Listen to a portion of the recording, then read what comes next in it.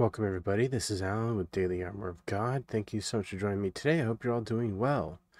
This is reading the Old Testament chronologically in 111 days. We're on day 101. Today we'll be reading more Ezekiel, starting with chapter 34. So, Ezekiel chapter 34, verse 1. Let's get started. And the word of the Lord came unto me, saying, Son of man, prophesy against the shepherds of Israel, prophesy and say unto them, Thus saith the Lord God unto the shepherds Woe be to the shepherds of Israel that do feed themselves. Should not the shepherds feed the flocks?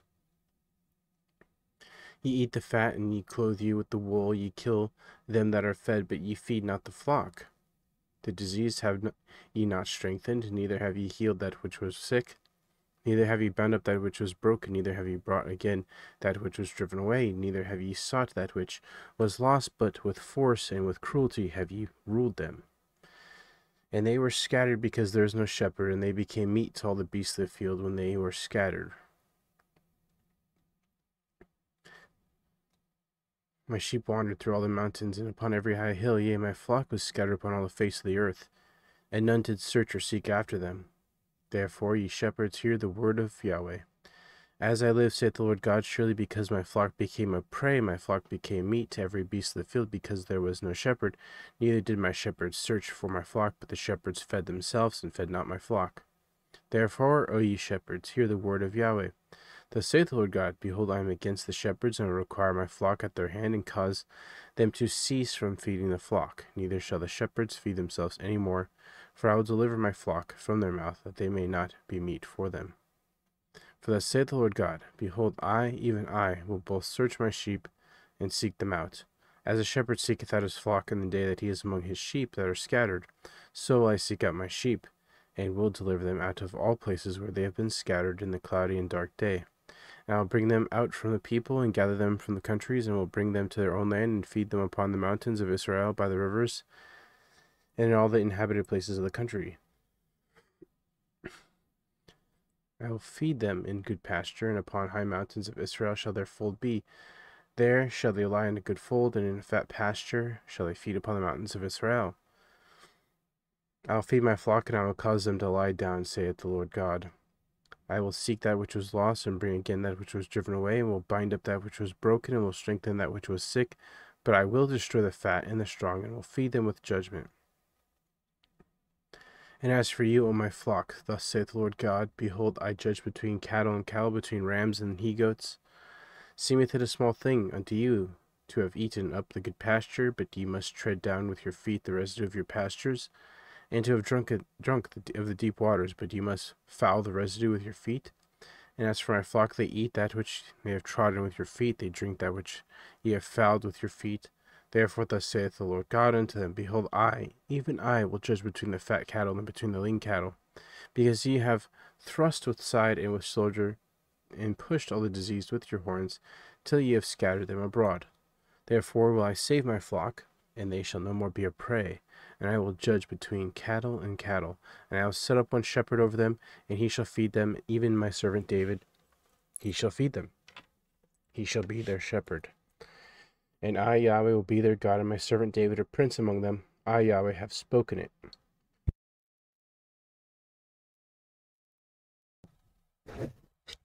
And I will make with them a covenant of peace, and will cause the evil beasts to cease out of the land. And they shall dwell safely in the wilderness and sleep in the woods. And I will make them and the places round about my hill a blessing, and will cause the shower to come down in his season. There shall be showers of blessing. And the tree of the field shall yield her fruit, and the earth shall yield her increase, and they shall be safe in their land.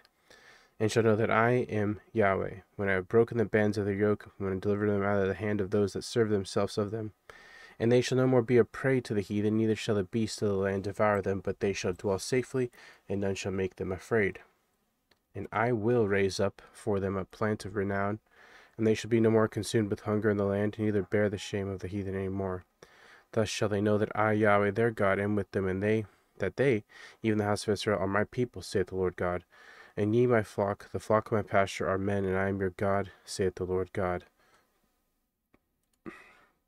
Ezekiel 35 Moreover, the word of Yahweh came unto me, saying, Son of man, set thy face against Mount Seir, and prophesy against it.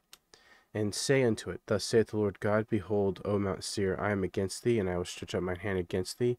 I will make thee most desolate, and I will lay the cities waste, and thou shalt be desolate, and thou shalt know that I am Yahweh. Because thou hast had a perpetual hatred, and hast shed the blood of the children of Israel by the force of the sword in the time of their calamity, and the time that their iniquity had an end. Therefore, as I live, saith the Lord God, I will prepare unto thee, uh, thee unto blood, and blood shall pursue thee Sith thou hast not hated blood, even blood shall pursue thee. Thus will I make Mount Seir most desolate, and cut off from it him that passeth out, and him that returneth.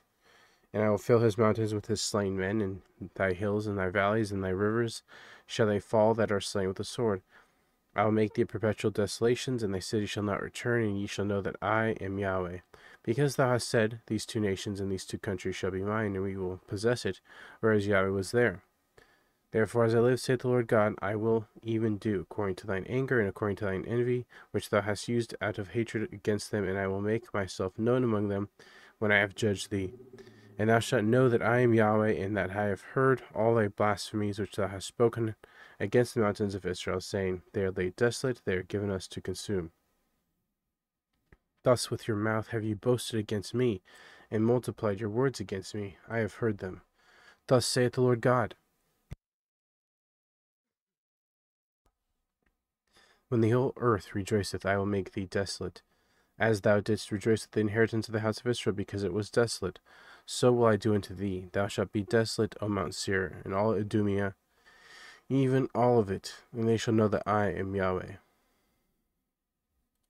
Ezekiel 36. Also thou, son of man, prophesy unto the mountains of Israel, and say, Ye mountains of Israel, hear the word of Yahweh. Thus saith the Lord God, because the enemy hath said against you, Aha, even the ancient high places are ours in possession. Therefore prophesy and say, Thus saith the Lord God, because they have made you desolate and swallowed you up on every side, that ye might be a possession unto the rest of the heathen, and ye are taken up in the lips of talkers, and are infamy of the people. Therefore, ye mountains of Israel, hear the word of the Lord God. Thus saith the Lord God to the mountains, and to the hills, to the rivers, to the valleys, to the desolate wastes, to the cities that are forsaken, which became a prey and a derision, to the residue of the heathen that are round about. Therefore, thus saith the Lord God, Surely in the fire of my jealousy have I spoken against the residue of the heathen, and against all Idumea, which have appointed my land into their possession, with the joy of all their heart, with despiteful minds, to cast it out for a prey. Prophesy therefore concerning the land of Israel, and say unto the mountains, and to the hills, into the rivers, into the valleys, thus saith the Lord God. Behold, I have spoken in my jealousy and my fury, because ye have borne the shame of the heathen. Therefore, thus saith the Lord God, I have lifted up mine hand. Surely the heathen that are about you, they shall bear their shame. But ye, O mountains of Israel, ye shall shoot forth your branches, and yield your fruit to my people Israel, for they are at hand to come. For behold, I am for you, and I will turn unto you, and ye shall be tilled and sown. I will multiply men upon you, all the house of Israel, even all of it, and the cities shall be inhabited, and the ways shall be builded. I will multiply upon you man and beast, and they shall increase and bring fruit, and I will settle you after your old estates, and will do better unto you than your beginnings, and ye shall know that I am Yahweh. Yea, I will cause men to walk upon you, even my people Israel, and they shall possess thee, and thou shalt be their inheritance, and thou shalt no more henceforth bereave them of men. Thus saith the Lord God, because they say unto you, Thou land devourest up men, and hast bereaved thy nations, therefore thou shalt devour men no more, neither bereave thy nations any more, saith the Lord God. Neither will I cause men to hear in, thee the shame of the heathen any more, neither shalt thou bear the reproach of the people any more, neither shalt thou cause thy nations to fall any more, saith the Lord God. Moreover, the word of Yahweh came unto me, saying, Son of man, when the house of Israel dwelt in their own land, they defiled it by their own way and by their doings. Their way was before me as uncleanness of a rem removed woman.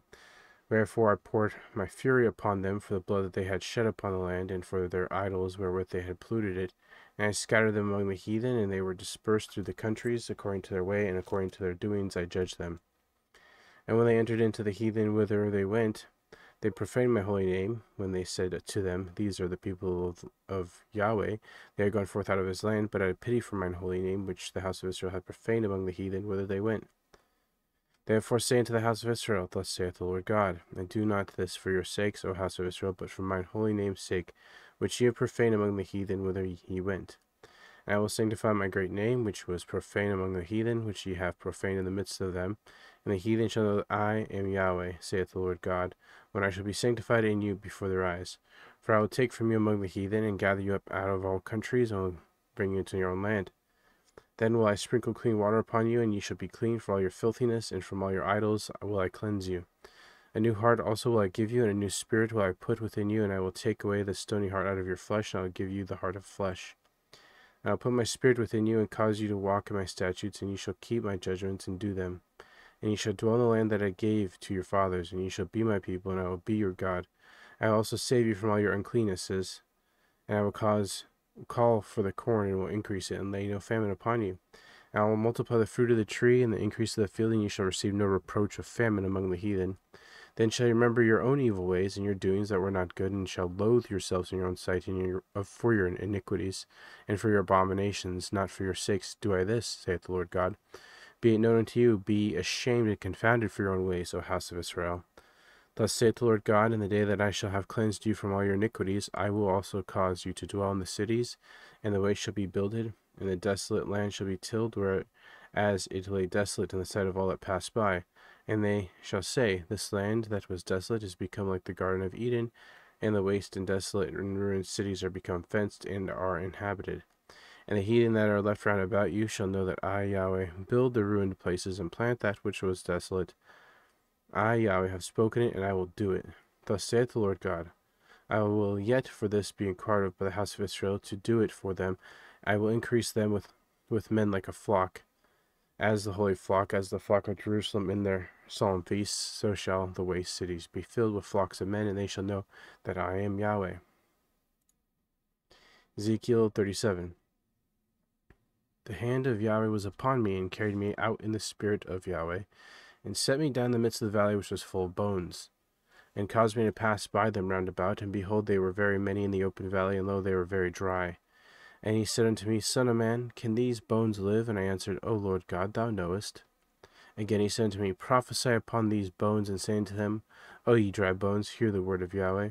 Thus saith the Lord God unto these bones, Behold, I will cause breath to enter into you, and ye shall live. And I will lay sinews upon you, and will bring up flesh upon you, and cover you with skin, and put breath in you, and ye shall live, and ye shall know that I am Yahweh. So I prophesied as I was commanded, and as I prophesied there was a noise, and behold a shaking, and the bones came together, bone to his bone, and when I beheld, lo, the sinews and the flesh came up upon them, and the skin covered them above, but there was no breath in them. Then said he unto me, Prophesy unto the wind, prophesy, son of man, and say to the wind, Thus saith the Lord God, Come from the four winds, O breath, and breathe upon these slain, that they may live. So I prophesied as he commanded me, and then the breath came into them, and they lived, and stood up upon their feet in an exceeding great army. Then he said unto me, Son of man, these bones are the whole house of Israel. Behold, they say, Our bones are dried, our hope is lost, we are cut off for our parts. Therefore prophesy and say unto them, Thus saith the Lord God, Behold, O my people, I will open your graves, I will cause you to come up out of your graves, and bring you into the land of Israel. And you shall know that I am Yahweh, when I have opened your graves, O my people, and brought you up out of your graves, and shall put my spirit in you, and ye shall live. And I shall place you in your own land, then shall ye know that I, Yahweh, have spoken it and performed it, saith Yahweh. The word of Yahweh came again unto me, saying, Moreover, thou son of man, take thee one stick and write upon it for Judah and for the children of Israel his companions. Then take another stick and write upon it for Joseph and the stick the stick of Ephraim and for all the house of Israel his companions. And join them one to another into one stick, and they shall become one in thine hand. And when the children of thy people shall speak unto thee, saying, Wilt thou not show us what thou meanest by these? Say unto them, Thus saith the Lord God, Behold, I will take the stick of Joseph, which is in the hand of Ephraim, and the tribes of Israel, his fellows, and will put them with him, even with the stick of Judah, will make them one stick, and they shall be one in mine hand. And the sticks whereon thou writest shall be in thine hand before their eyes. And say unto them, Thus saith the Lord God, Behold, I will take the, chi- the children of Israel from among the heathen, whither they be gone, and will gather them on every side, and bring them into their own land. And I will make them one nation in the land of the mountains of Israel, and one king shall be king unto them all and they shall be no more two nations, neither shall they be divided into two kingdoms any more at all. Neither shall they defile themselves any more with their idols, nor with their detestable things, nor with any of their transgressions, but I will save them out of all their dwelling places whereon they have sinned, and will cleanse them. So shall they be my people, and I will be their God. And David my servant shall be king over them, and they all shall have one shepherd. They shall also walk in my judgments, and observe my statutes, and do them. And they shall dwell in the land that I have given unto Jacob my servant, wherein your fathers have dwelt, and they shall dwell therein, even they and their children, their children's children forever, and my servant David shall be their prince forever. Moreover, I will make a covenant of peace with them. It shall be an everlasting covenant with them, and I will place them and multiply them, and will set my sanctuary in the midst of them forevermore. My tabernacle also shall be with them, yea, I will be their God, and they shall be my people, and the heathen shall know that I, Yahweh, do sanctify Israel, when my sanctuary shall be in the midst of them forevermore.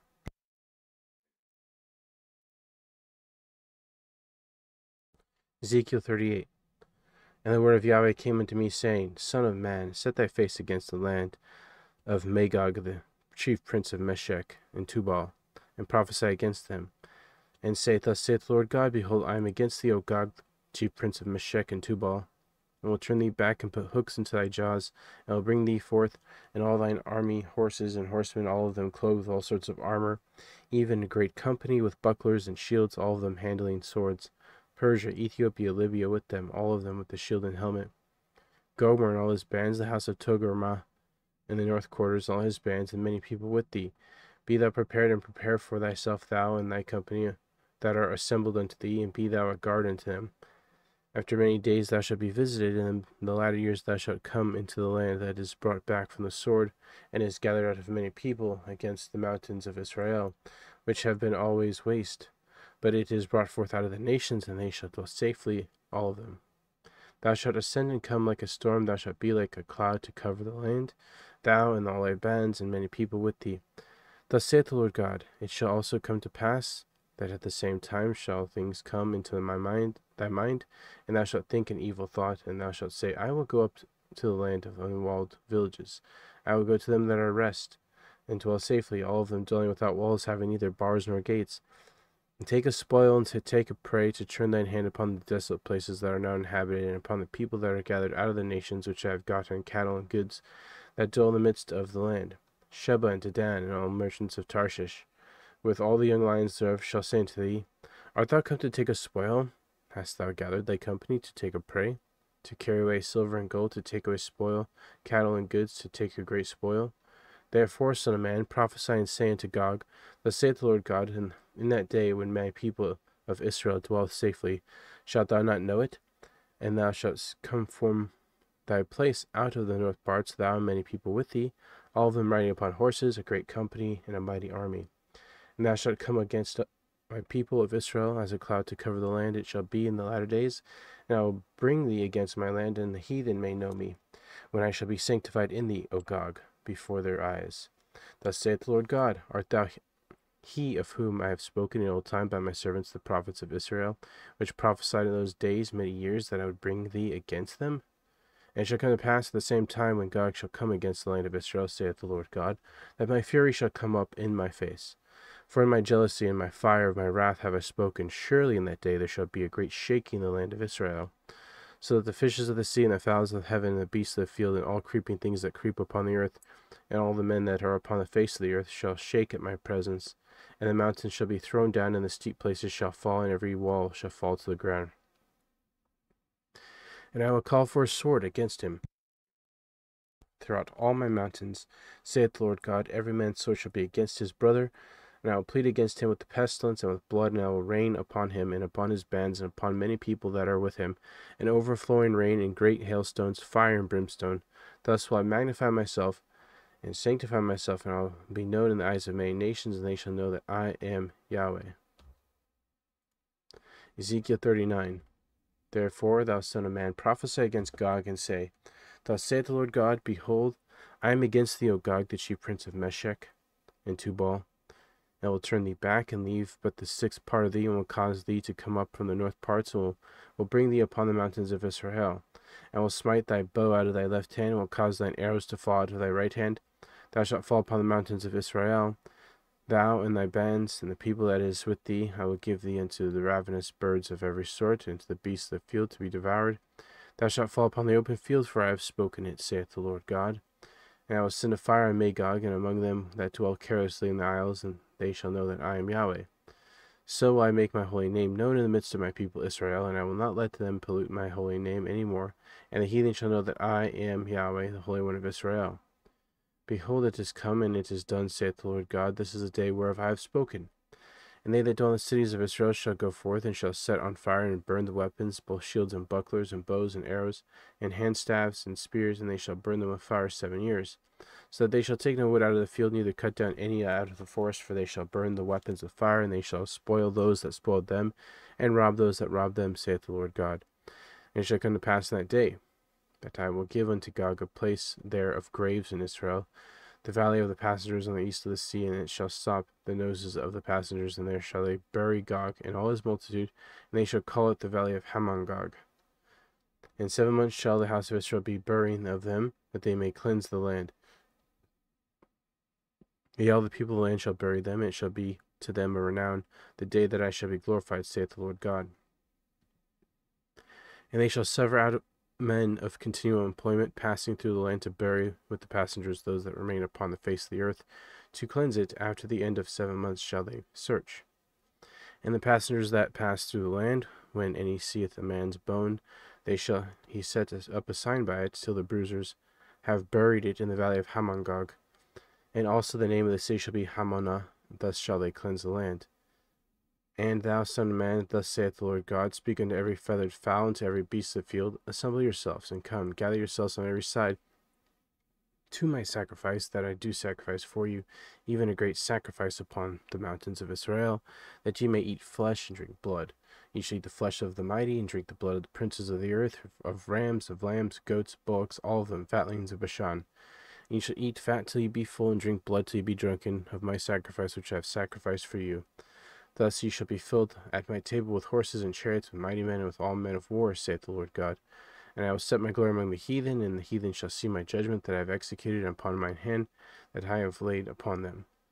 So the house of Israel shall know that I am Yahweh their God from the day, from that day and forward. And the heathen shall know that the house of Israel went into captivity for their iniquity, because they trespassed against me.